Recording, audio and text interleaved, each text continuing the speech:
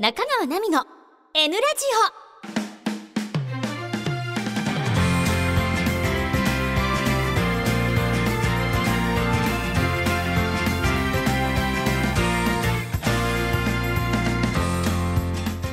オ。皆さんこんにちは。中川奈美です。あ私こんばんはって言ってたんだったっけ？もうちょっとよくわけわかんなくなっちゃった。毎日お疲れ様です。いやなんかね本当によく倒れないなっていうスケジュールでも人間って倒れないんだね。なんかアドレナリンお化けっていうあだ名を最近つけられちゃったりとかしてる私なんですけどもまだまだコロナが大変ですね。本当に。なんかいつになったらこうマスクをしないで大丈夫なのかなとかマスクでそもそもねあの熱中症になっちゃったりとかすることもあるみたいだから本当に気をつけなきゃいけないなと思いながら生きていますが皆さんはいかがですか？私はまあ健康です。元気に生きています。うんとね最近いいことありましたよ。あのドラゴンポテトをまたジャパンフリトレイ様が送ってくださったんですよ。あの私がいろんな味を食べたいって言ってたらあれを送ってくださったんです。もう売ってないっていうコンソメ味をね送ってくださったんですよ。もう感動しちゃった。しかも美味しくてなんか一気に食べちゃって。事務所で「はい開けました。なくなりました」までの時間が早すぎてマネージャーたちがちょっと引いてるっていうね。まあそんな感じででも本当にありがとうございました。それであまりにもこうよくしていただくからなんか私もお礼しなきゃなと思ってちょっといろいろね今いろんなことを画策していますのでお楽しみに。お待ちください。うまくいくのかな？ちょわかんないけどなんかやんないよりやった方が楽しいよね。最近そうやって人生を楽しむことも覚えてきた私なんですけども息抜きがねやっぱりすごく下手みたいでこうアドレナリンお化けですよ本当に。昔はねなんかちょっと若干それがいいんじゃないかとかストイックなところかっこいいんじゃないかとか思ってたけどちょっと最近いい大人になってからそういうものの作り方って余裕がないしいけないなとかあのそういう部分で酔ってられるほど子供じゃないなとかいろいろなことを思い始めてる今日この頃ですよ。本当に。そういえば「鬼滅の刃」の21巻出ましたね。もうつらい。本当に話を知ってますよ。もちろん。本書読んでるから知ってるのに。辛い。でもねあの私カバーを開いたところの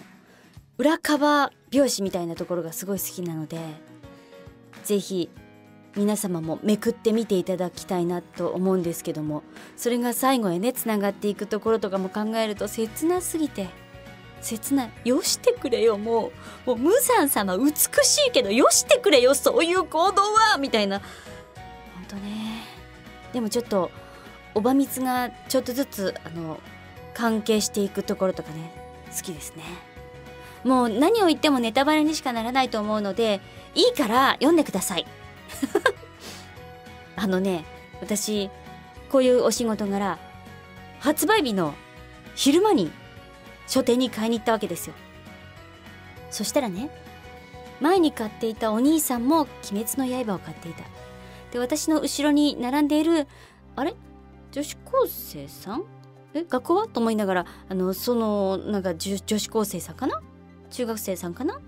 という方も「鬼滅の刃」を買っていて。嬉しかったです。ありがとうございます。8000万部突破らしいですけども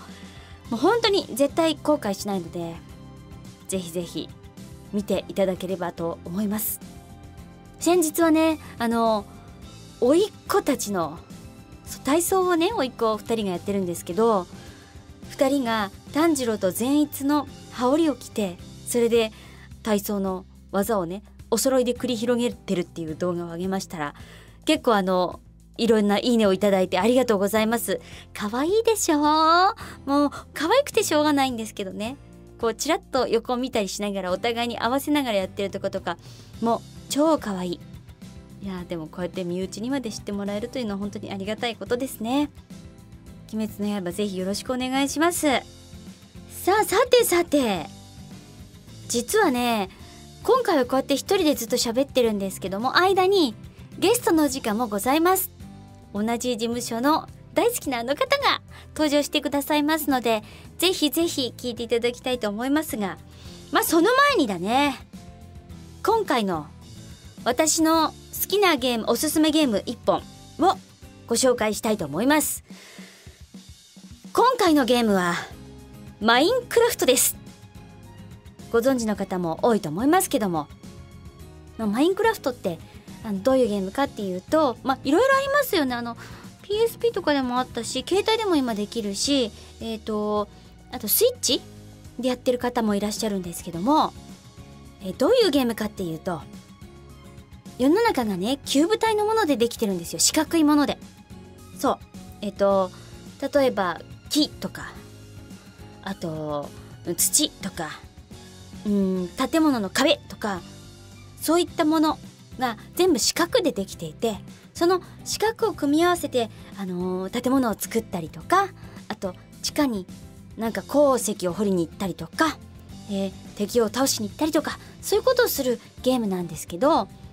まあね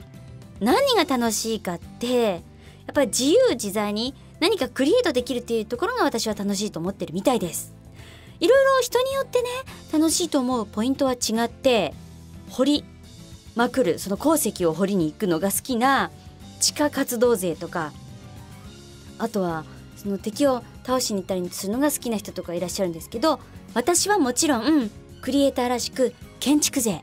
なんですよ。でねあのいろんな建物を建てるんですけど結構ね最初から上手だったっぽいよ。一番最初はねちょっとマンションみたいな建物建てようと思ったらなんかね豆腐みたいな豆腐ハウス。これディスリですよ。豆腐ハウスっていうのができちゃったんですけどでもね2つ目からもう違った。家を完璧に作って作りすぎて後輩に逆に惹かれるっていう。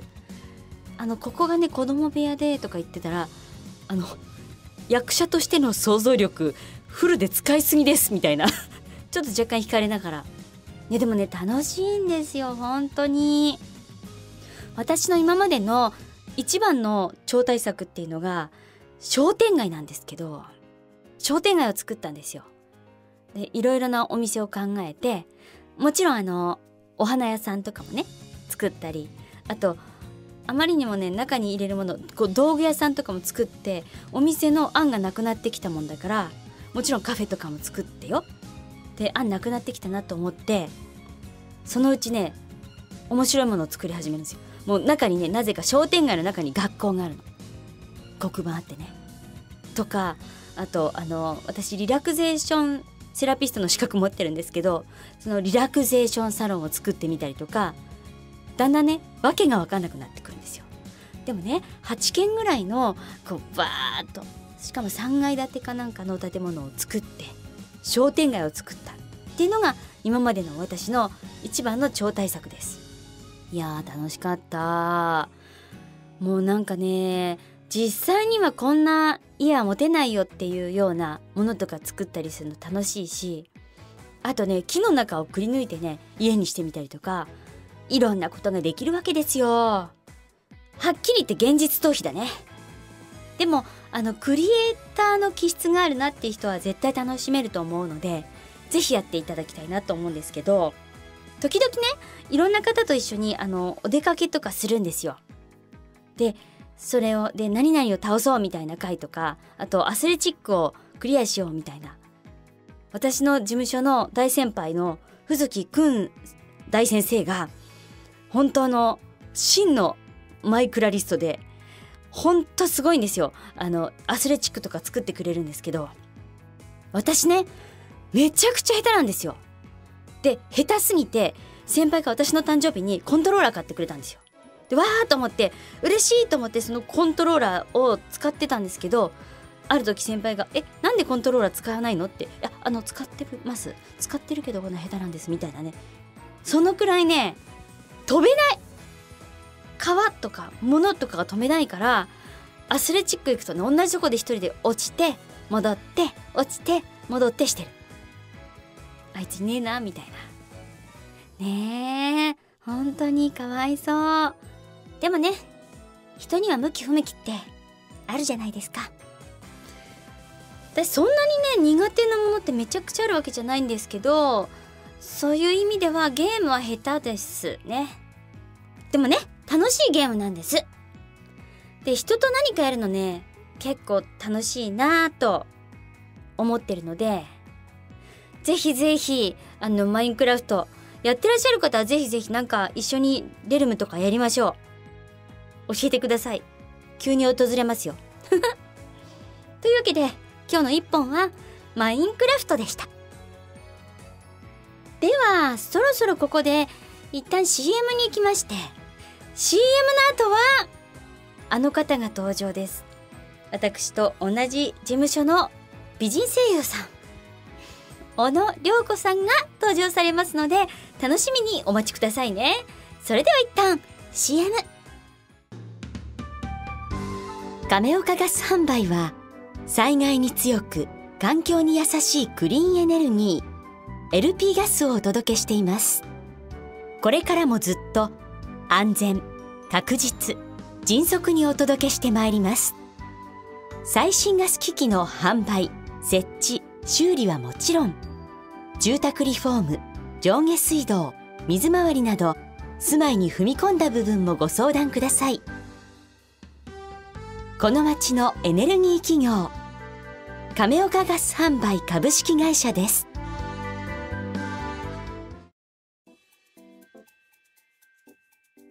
ナミさん N ラジオのリスナーの皆様こんにちは。声優の小野涼子と申します、えー、この度はお声掛けをいただきまして本当にありがとうございます。えー、ナミさんお久しぶりですね。あのナミさんは同じ事務所の先輩なんですけれども実はあのまだ数えるほどしか ご一緒直接ご一緒できたことがないんですけどもの私はあの歌手としてのナミさんを以前から一方的に存じ上げておりまして、えー、大好きだったのでこうやってご縁ができていることに本当に驚いてますし幸せだなと思ってます。直接ご本人に言ったことはなかったんですけども。はい。あのナミさんのナミさんご自身の生命力がすごいなといつも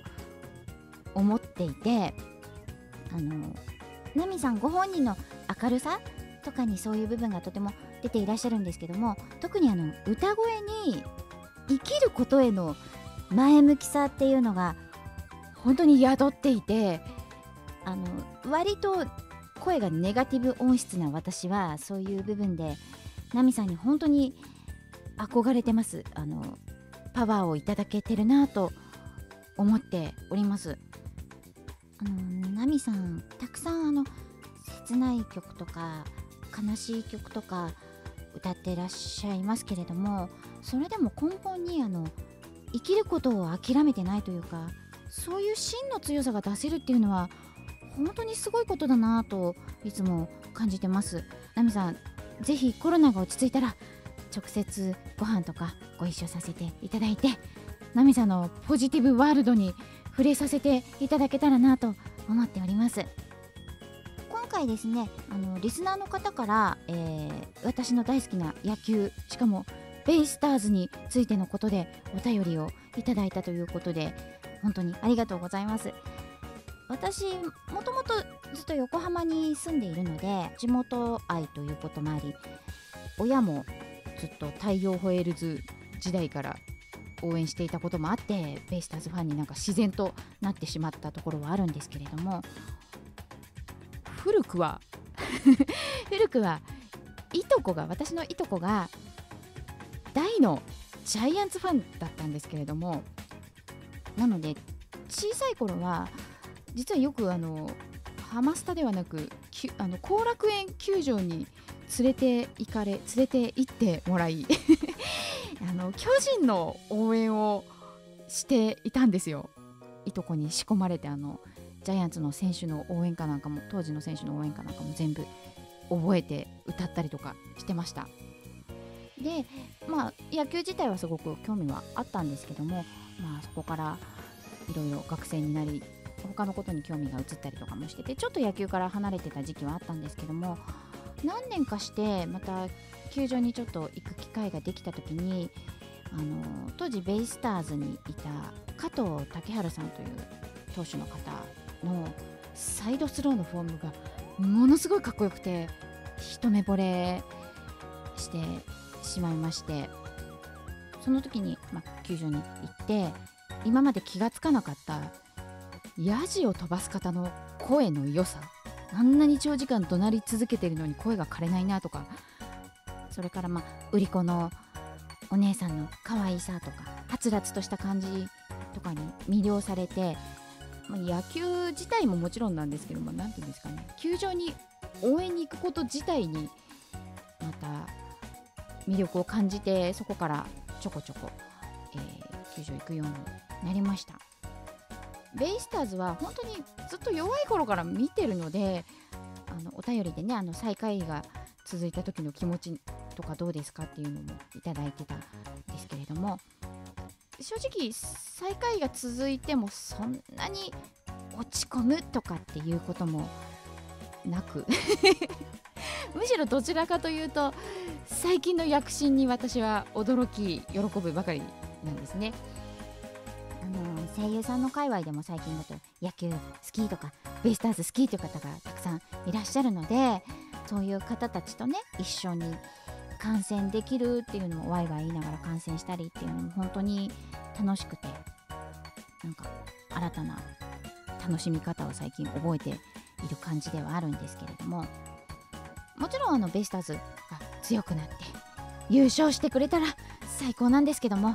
あんまり順位とか関係なくあの選手の皆さんのいいプレーを拝見したりいろんな方と野球トークができることに私は幸せを感じております。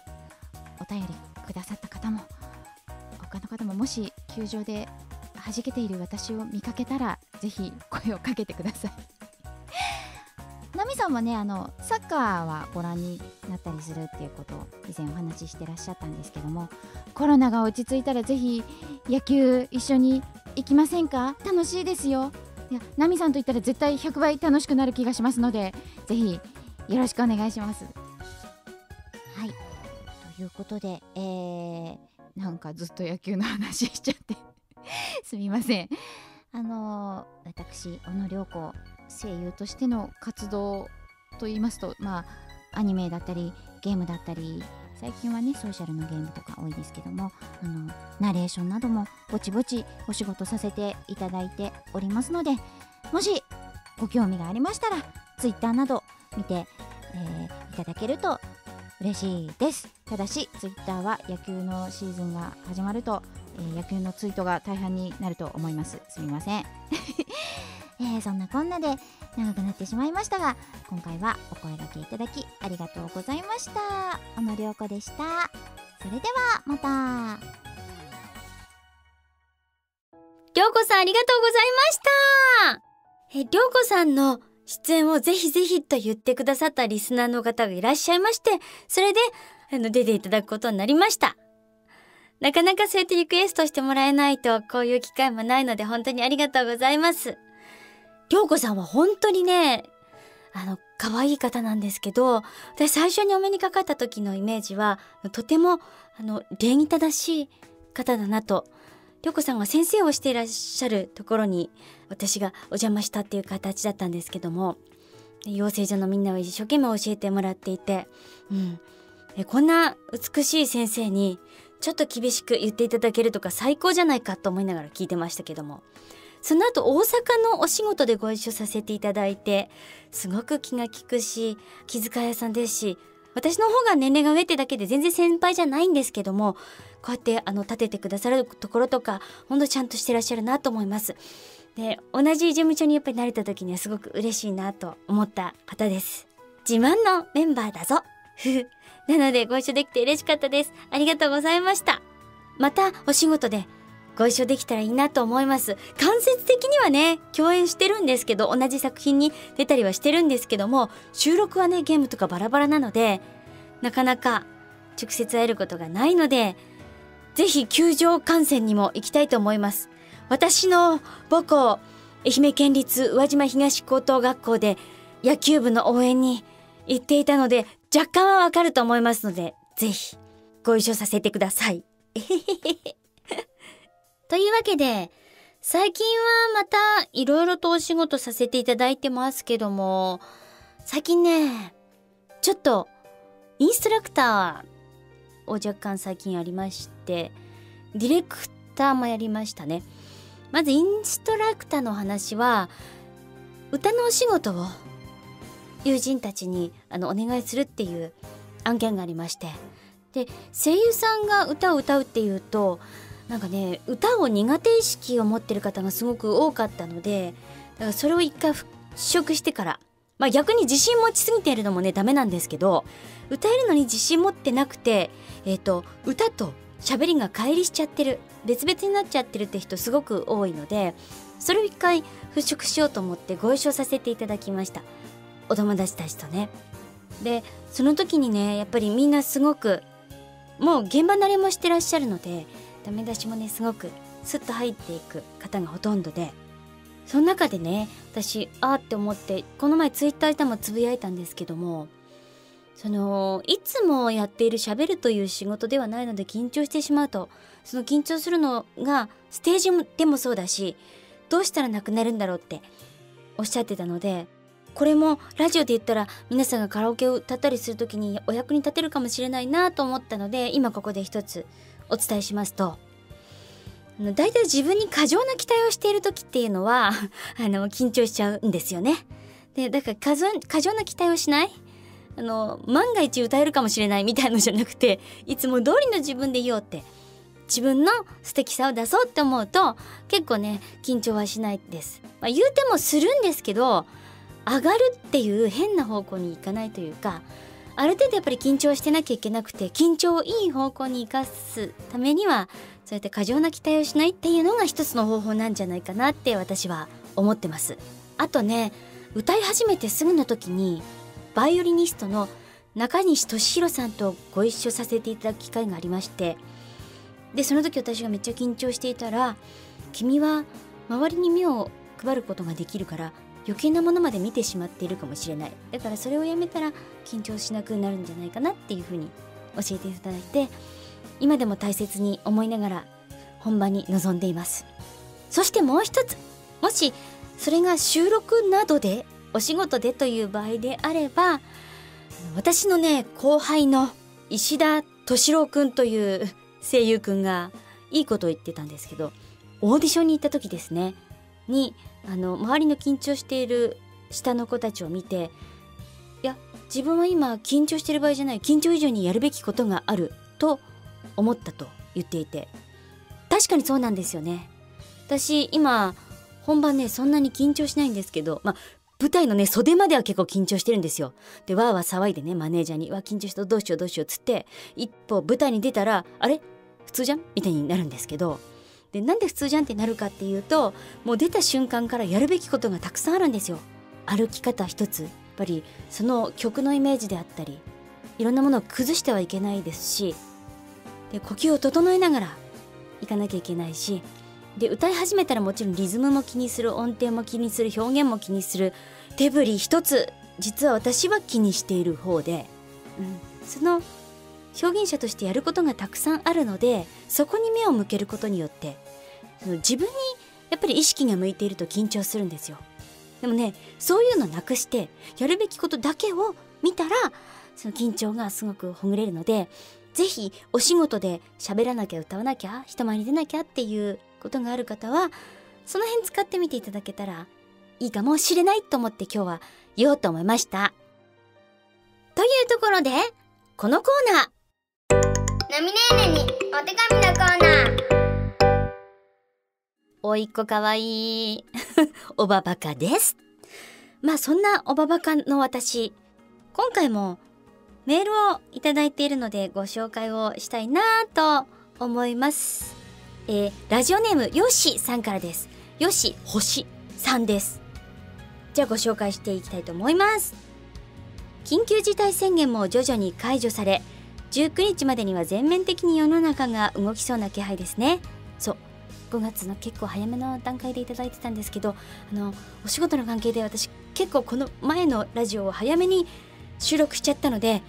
ご紹介遅くなっちゃってごめんなさい。しかしながらコロナ騒ぎより前の生活と今後の生活には大きな違いが出てきそうです。ほんとそうですよね。お芝居やライブなどの形態も変わってきてしまうのかもしれないですね。ほんと本当そうなんですよ。いろいろなものがね中止延期中止延期一席空けてってなってるからなんか演者にとってもねなかなか辛いものがあると思いますけどもその中でもね一生懸命なんとかやりくりしてあのスタッフさんも考えて進めようとはしてくださっているのであのいろいろとねお客様とも協力して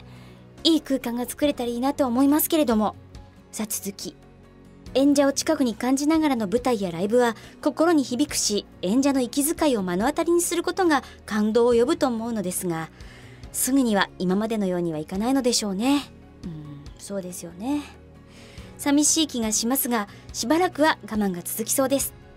そんな中で楽しみにしている一つとしては奈美さんの N ラジオですね。ありがとう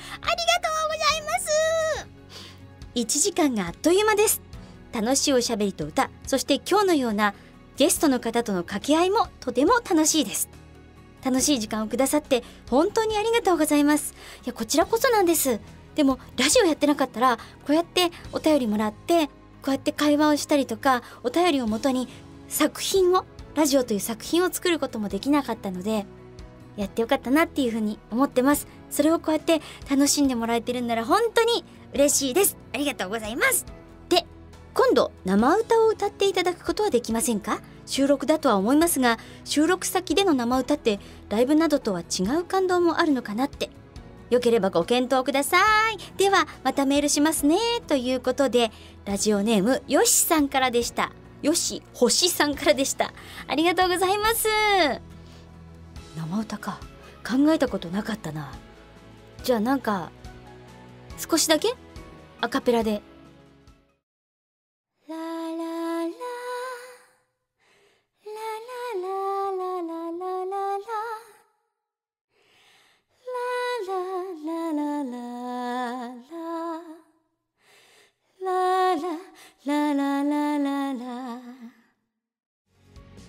なんてね。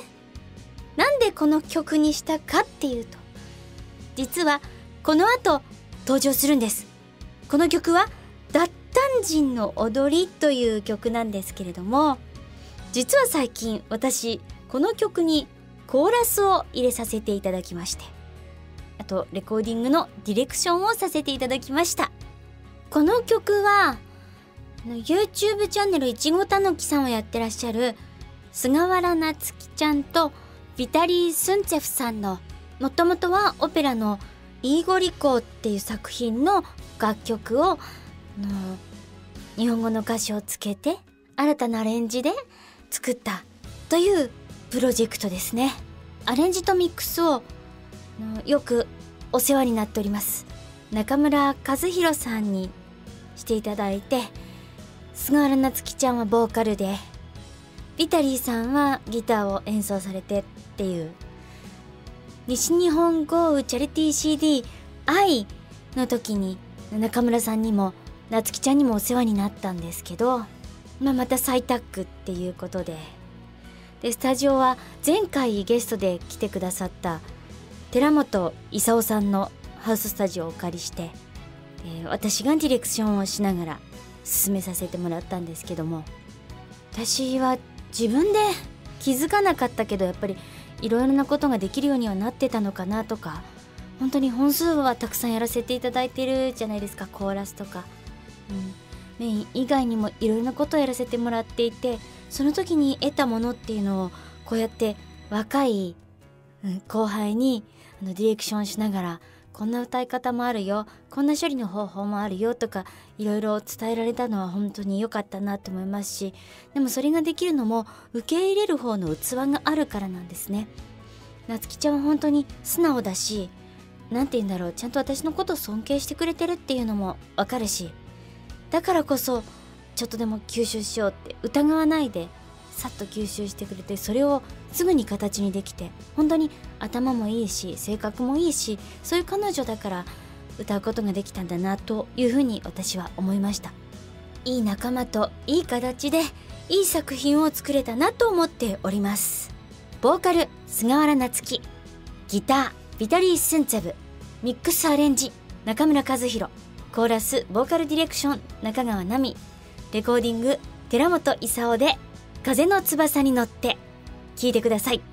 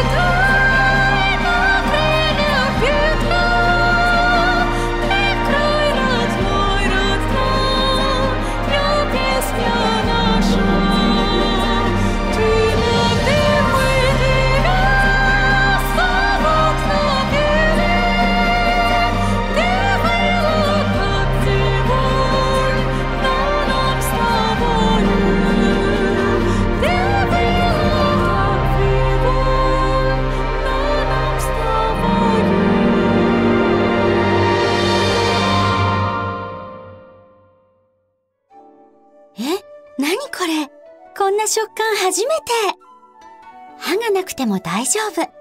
ふわふわとろとろもっちもち。亀井のふわ天。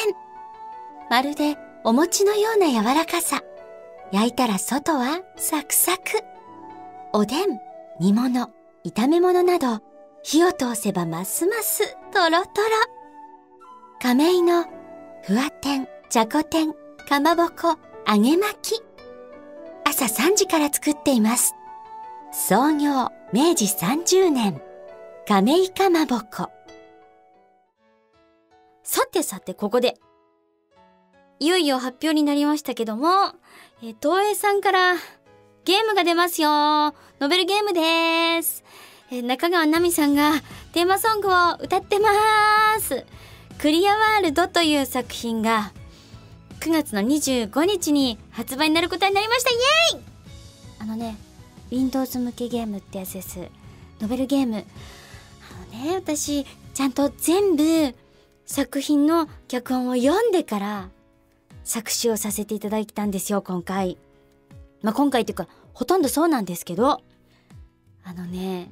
いろんなやっぱりキャラクターの過去とかもあってそれでだだからこの人はこうなんだとか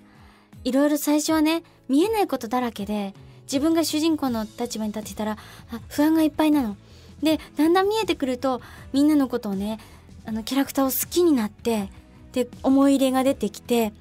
でその思い入れを持って作詞をできたっていうのはすごく楽しかったですね。いろんな仕掛けがしてあります実は。あのどこで先に曲を聴いてしまっても一旦こういうものを想像してで作品を全部プレイし終わった後に聞いたらあこういうことだったんだっていうことが分かるようなもう頭使った。めっちゃ頭使いました。そういう仕掛けとかあと愛すべきキャラクターたちのことをこっそりあの歌詞に織り込んでいたりとかいろんなことをやらせていただきました。あのこれが例の3月だったかな？に多摩川で作詞したやつね。クリアワールドっていう作品は水が出てくる作品なんですよ。だから作曲家の成田俊さんがああこれは水をイメージされてここ作られてるんだろうなっていうところとかたくさんあってで家で作詞してたらいやこれ水のあるとこ行かないとちょっと出てこないかもみたいな思ってで自転車で多摩川まで行ってで多摩川で水に囲まれながらちょっと歌いながら作詞とかして。でもあのあんま人いなかったからちょうどよかったんですけど、まあ、時々人が来て恥ずかしい思いをしながらあいつ何なんだ？なんで河原でパソコン抱えて歌歌ってんだ？みたいなそういう状態になりながら作りました。で私ね嬉しかったのが同じ事務所の氷星さんが私の大好きな役を演じられていてそれもねめっちゃ嬉しかったんですよ。あ共演だ嬉しいと思って。あとイラストを描いていらっしゃるラックさんっていうイラストレーターさんがすごく好きで FGO 前に話したじゃないですか。のあの岡田伊蔵とか書かれてるんですけどまあ伊蔵は私は間違って捨てちゃったんですけど「伊蔵帰ってきてピックアップはまだなの。それ置いといて」そそんなあの憧れの方々とご一緒できたこともすごくうん嬉しいなという作品です。そういう素敵な方々に囲まれていい作品に関わることができたっていうのすごく嬉しいのでもうぜひいろんな方にやっていただきたいのでクリアワールド9月25日もう予約はスタートしています。ぜひ予約していただけたらなと思います。どうぞよろしくお願いします。そしていつもお伝えしてますけども「えー鬼滅の刃」のイベント朗読の生産の朗読のイベントですね「鬼滅の宴」のブルーレイ &DVD が8月26日に発売になります。こちらもぜひぜひご予約受付中ですのでよろしくお願いします。そしてもちろん作品の DVD& ブルーレイも発売になってますのでこちらもぜひお手元に。19話日の神会よろしくお願いします。ああそういえば私好きなものの話を今回するの忘れてた。ちょっとここでさせていただきたいと思います。あのキャラクターとかって皆さん何が好きですか？私はねSuica のペンギンが好きなんですよ。この前ドラゴンポテトを事務所に届けていただいてそのポテトに中川確認待ちって いうメモが貼られてたんですけどそれがね Suica のペンギンのクラフトテープで留められてたんですよ。超可愛いって言ったらあの経理さんがねこれ私のなんですよ一巻きあげますよとか言ってで切ってもらって私の手帳にも貼ってあるんですけどあの Suica のペンギン超可愛くないですか？なんかちょっと無表情っぽいながらも表情があるところとかちょっとたまらないなと思って。いや可愛いんですよね。昔から好きですね。うん。それでね最近なんかちょっと気づいたことがあるんですけど前回ゲストに来てくださった寺本勲さんの飼ってるショウガラゴお猿のプラムちゃんがちょっと Suica のペンギンに似てるんだよね。と思って似てないって言ったら本人わかるって言ってて目が丸いからかなみたいな。今私がツイッターで仕事が入ってなかったらツイッターで2つを並べているかもしれないね。ちょ可愛いんですよ。でもプーちゃんの可愛いところはねなんか目を閉じるとちょっと土偶みたいになるんですよ。目が。真横になってその若干土偶なんですよ。そこもまた可愛いんですけども。え。また皆さんの好きなキャラクターとかも教えてくださいね。私ちなみにねあとはね今すぐね鬼滅グッズ集めちゃうもうお菓子とかすぐ買っちゃう。でも買う前にねみんながくれる。ちなみにこの前行った現場ではねあの炭治郎の梅昆布おにぎりのあのーラーメンのお菓子がねあったんですよ現場に。それで思わず写真撮ってでその後ナレーションに行ったはずなのに帰りに「ああのそのお菓子なんですけど」みたいな「そのお菓子と「鬼滅の刃」で歌を歌っています。中川奈美です」みたいに。もう現場「えー!」みたいな。状態で帰ってきました。湧いてもらえてよかったです。うん。あの放送始まったくらいではやっぱり「鬼滅の刃」自体をご存知ない方もいらっしゃいましたしでも今はねもう知らない人いないじゃないですか。だからどこに行ってもこの話題が出ますね。あとナレーションのお仕事なのにその「鬼滅のかまど炭治郎の歌を歌われた」って言ってそれで決まったこともあるんですよ。本当にもうありがたい限りです。椎名剛さんありがとうございます。あの私を採用してくださいました皆様本当にありがとうございます。鬼滅のおかげでお仕事がやりやすくなっております。いや本当にねでも知っていただけるっていうのは本当にありがたい限りであのいろんなところでサインもさせていただくようになってかまどって字書けるもん。漢字書けます皆さん。かまど意外と書けないですよ。炭治郎はねあの書けますけど墨治るろうですからでもかまどなかなか漢字で書けないのでね、うん、あの故郷の愛媛県宇和島市だとえっ、と久屋広場の秀町水産さんに私のサイン並んでます。鬼滅のあのコースターがキャってついてね並んでますのでよかったら見てくださいって。何の話をしてるんだって。そしてここでもう一つ最近公開した動画があるんですけども歌をまたこれもアレンジで作りました。前にアレンジをした「アメイジング・グレース」っていう曲をまた別のアレンジで別のメンバーと一緒に作りました。でこれが何かっていうと放牧さんという NPO 法人さんがありまして北九州にあるんですけどね。すごいんですよね。ホームレスの方をあの支援付きの住宅を用意して要は社会復帰のお手伝いをするっていう大掛かりな NPO さんがあるんですがこのコロナウイルスのせいで職を失った方とかお家をやっぱ失ってしまったっていうそのお家賃が払えなくてっていう方が出てきてしまってだからその活動を全国にいろいろな団体の方と協力して全国に展開して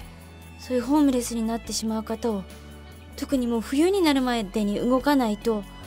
外で生活するって本当に命に関わることだからそれでクラウドファンディングを今されてるんですけどであともうちょっとしかないんですけどやっぱり全然全然目標の金額に達してないんです。だからお力をお貸しいただけないかなということでちょっとでも知っていただくきっかけにやっぱりなるんじゃないかなと思って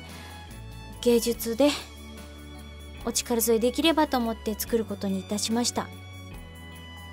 それをねまた私がこの思いつきのように急に言うわけですよ仲間たちに「あのさこういうことがあって」とか言って急に言うのにさみんな嫌な顔一つしないで参加してくれるんですよ。本当にいい人たちに恵まれてるなと思います。ご自分のお仕事もね。やっぱりもうお仕事は再開している時とかだからみんな大変なはずなのに多分ね寝る間を惜しんでやってくれてる。本当にありがとう。どういう仲間と一緒にやったかっていうとこの前の動画で一緒にやってくれた井出口正史さんのベーシストでありウクレレの日本チャンピオンだったりするんですけど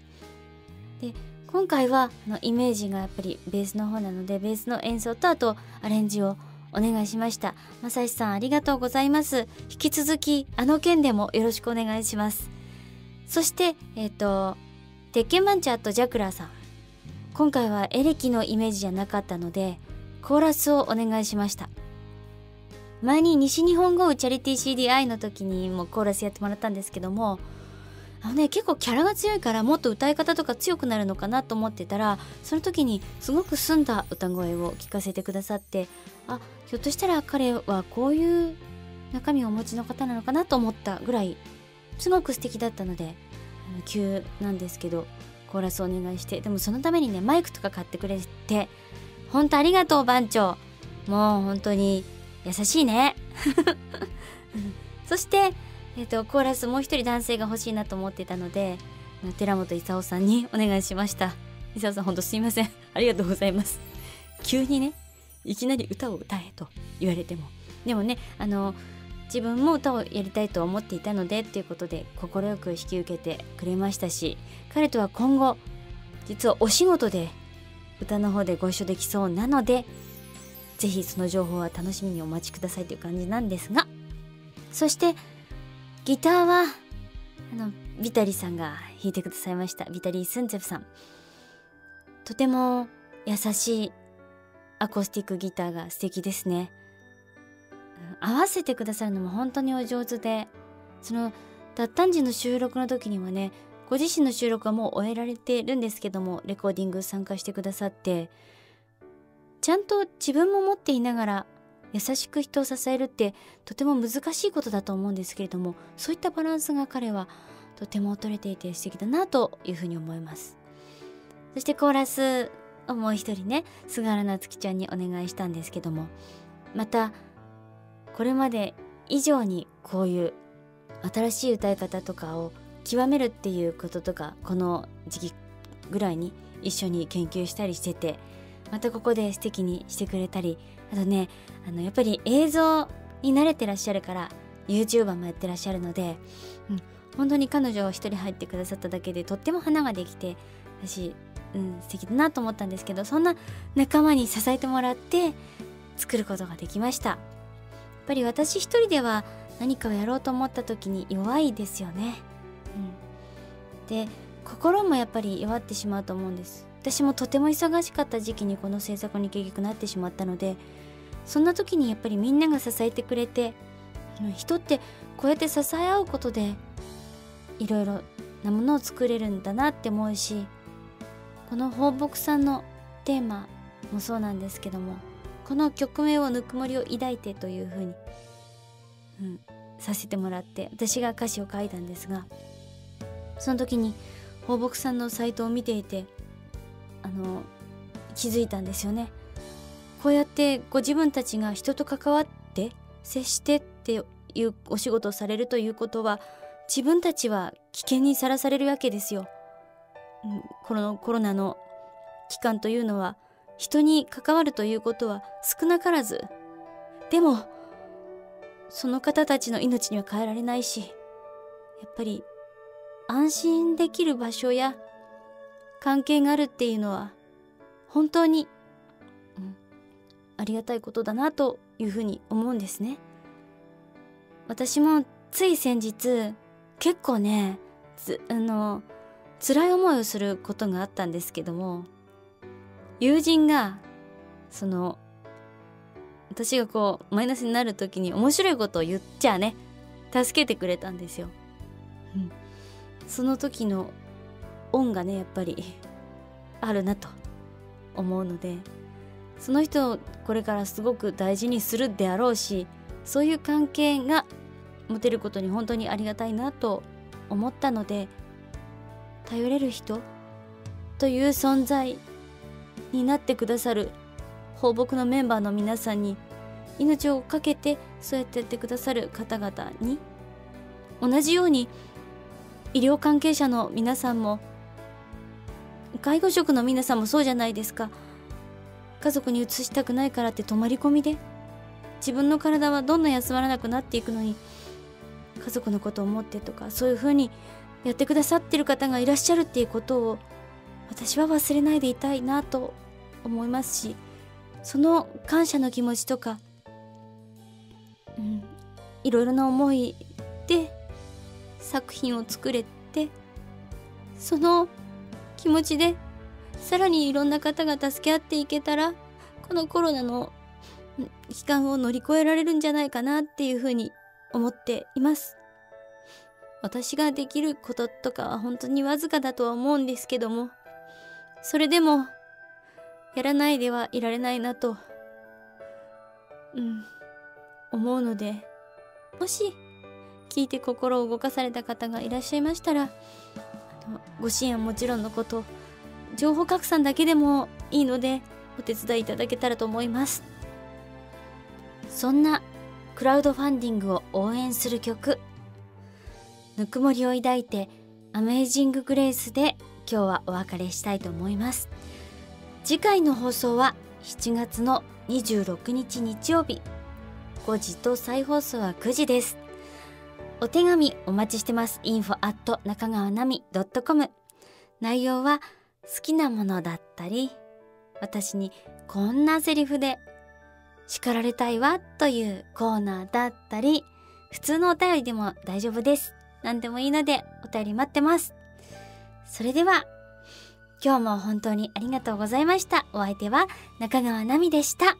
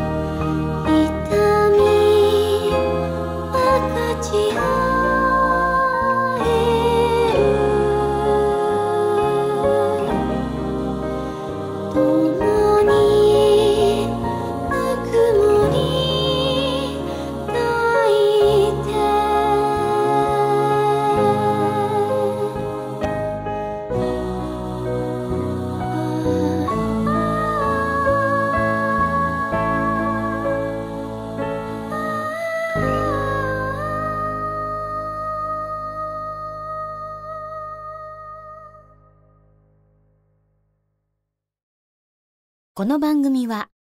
亀井かまぼこと亀岡ガス販売の提供でお送りしました。